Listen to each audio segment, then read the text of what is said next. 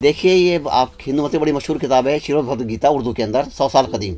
ये with picture हमारे पास है ये। If you wanted to pick up a book in Urdu, you came here. पहले यहाँ पे पूरा उर्दू बाज़ार था और लोग यहीं आते थे किताबें। अब यहाँ नहीं आते लोग। फिर किताबें बिकने लगी फिर और माहौल बदला। फिर वहाँ से किताबों का नामो निशानी मिट गया। ये एक बहुत नुकसान हो रहा है हम लोगों का क्योंकि एक ये तारीखी शहर है और किताबों का एक शौक हुआ करता था लोग रेगुलर पढ़ा करते थे। Tucked in opposite the majestic Jama Masjid Urdu Bazaar used to be a bustling hub for poets and writers from Delhi now it silently sits there देखो निगाह नाज से दिल्ली के नज़ारे ये तहजीब की जन्नत है जमुना के किनारे। और जो उर्दू बाज़ार है इसकी अपनी एक तारीख है असल में उर्दू तो बाज़ार जो पहले हुआ करता था, जो चांदनी चौक के पास उर्दू बाज़ार अब ये यहाँ आफ्टर पार्टीशन यहाँ उर्दू बाज़ार यहाँ हो गया है जामे से करीब हो गया है। उस वक्त तो ये था कि किताबें किताबें होती थी। यहाँ पे ज़्यादा सारी दुकानें किताबों की होती थी और लोग आते थे बहुत किताबें लेने। कि उर्दू की किताबें लिया तो जामा मस्जिद पे ही मिलेंगी। तो लेकिन अब ज़्यादा बहुत कम आते हैं। बहुत कम आते क्योंकि इंटरनेट पर मिल जाती है उनको सारी किताबें इसलिए ज़्यादा कम ही आती हैं बहुत। Most shops open only after midday and go without sales till evening. If you wanted to pick up a book in Urdu, you came here. But over the last 15 odd years, gradually the demand for Urdu books has begun to peter out. And this is a result of the mm, step motherly treatment that this language is given. पहले रौनक थी यहाँ पे। अब रौनक नहीं है अब रौनक ख़त्म हो गई। पहले के मुकाबले में अब कुछ भी नहीं। जो पहले बात थी ना उर्दू बाज़ार में लोग शौक से आते थे। जौक तक यहाँ पे उर्दू किताबें मिल जाएगी। अब वो ख़त्म हो गया। वो लोग ख़त्म हो गए। हमारा जो है किताबों का काम बहुत बड़ा काम था।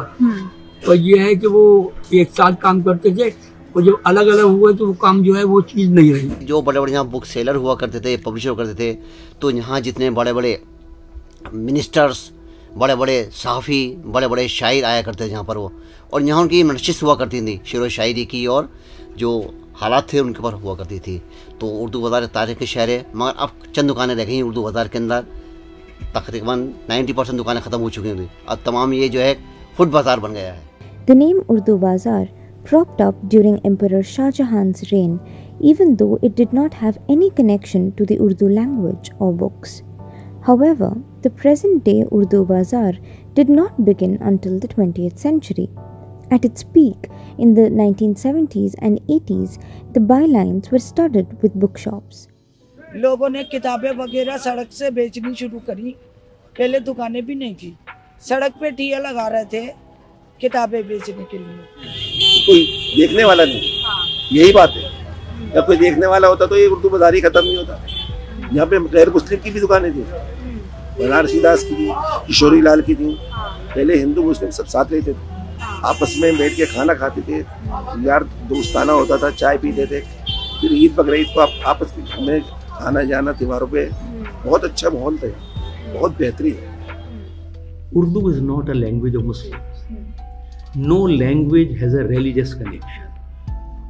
Urdu is a language of this city, of this area, and you know, of Delhi, Lucknow, Patna, you know, this entire area. This is the this is where Urdu developed.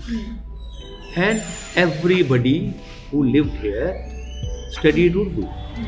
जब उर्दू की का मियारी ख़त्म हो जाएगा तो कौन आदमी करेगा अब टीचर ही नहीं है स्कूल में पढ़ाई नहीं जा रही उर्दू जब उर्दू नहीं पढ़ाई जा रही तो आदमी क्या पढ़ेगा कम से कम उर्दू स्कूल में तो होनी चाहिए Despite bookshops closing down rapidly, many are optimistic about another revival of the Urdu Bazaar and the Urdu language in general.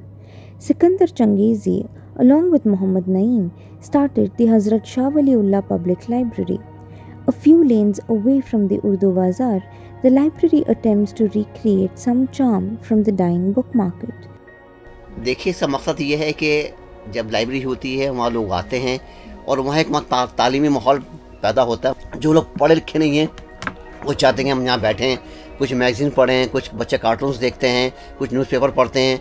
तो यहाँ से शौक़ पैदा होता है कि सब हमें भी तालीम हासिल करनी चाहिए, बस ये। ज़्यादातर अब एक ये शौक़ ख़त्म हो गया है पढ़ने का। सब सोशल मीडिया की तरफ़ आने शुरू हो गए हैं। तो लेकिन ये दौर वापस लौटेगा, क्योंकि वहाँ सारी चीज़ें अथेंटिक नहीं मिल पाती हैं, जो बुक्स में मिल जाएँगी। By associating itself with education, specifically education in Urdu, this library also revives the language in some ways.